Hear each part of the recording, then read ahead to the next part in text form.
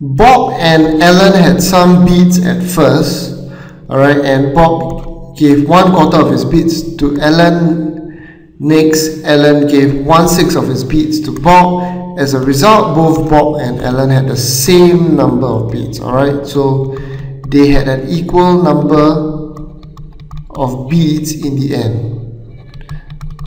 Alright, so the total number of beads that both Bob and Alan have is 480. So for questions like this, alright, we have to work backwards. Alright, we have got no clue absolutely how many beads Bob and Alan have at first. Alright, but what they did give us is the clue that they had 480 in total.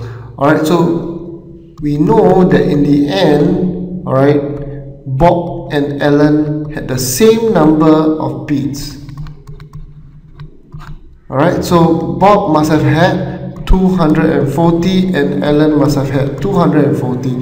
How do I know that? Because you take 480 divided by 2 and you get 240. Alright, so we have to work backwards from the end. Okay? Now, so what we have to do in questions like this is to read backwards as well. Alright? So let's read this sentence here. Next, Alan gave one sixth of his beads to Bob. Alright, in the end, they had the same number of beads. Alright, so this is the end. Alright, so after Alan gave one sixth of his beads to Bob, alright, Alan must have had five sixths of his beads left. So five sixths of Alan's beads has to be equal to 240. One sixth of Ellen's beads has to be equal to 240 divided by 5 and all of Ellen's beads is equal to 240 over 5 times 6. Alright, this will work out to be 288 beads. Alright, so one step before, alright, one step before, alright, Ellen had 288 beads. Alright, and Bob must have had 480, which is the total, minus 288. So remember, the total at any point in time stays unchanged. Alright, so total stays unchanged at any point in time. Alright, so Bob must have had 480 minus 288, which is actually equal to 192 bits. Alright, just to check. Alright, at this point in time, if Alan gave one sixth of his bits away to Bob, 1 6 multiplied by 288 is equal to 48.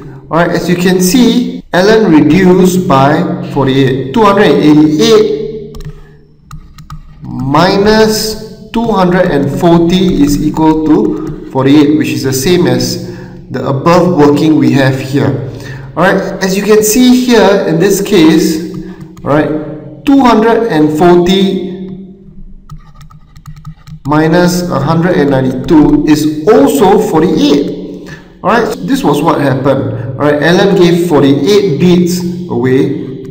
Alright and Bob received 48 beads alright so in the end Bob had 240 beads so the interaction between this and this or rather the difference between this and this is 48 alright and the difference between this and this is also 48 so Alan, alright dropped by 48 and Bob increased by 48 alright so when Alan, alright decreased by 48 Bob increased by 48 alright so this is the interaction between the two individuals that you actually have to understand alright so let's go on to one step before remember we are reading backwards. So we've already read this sentence, we've already done our workings. So let's read this sentence right now.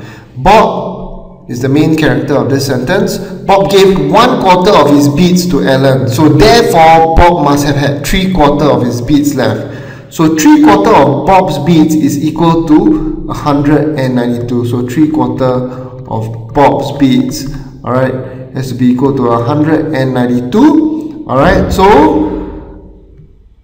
at first Bob must have had 192 divided by 3 times 4 alright and this will work out to be 256 alright? Now we know that Alan must have had 480 minus 256 and that is equal to 224 bits. Alright?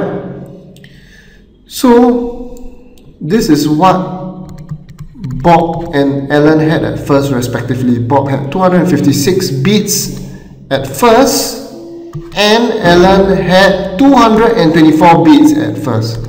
Alright, so A, how many bits did Bob have at first? Bob had 256. Alright, this is our answer to A. And for part B, right, Alan had 224 at first.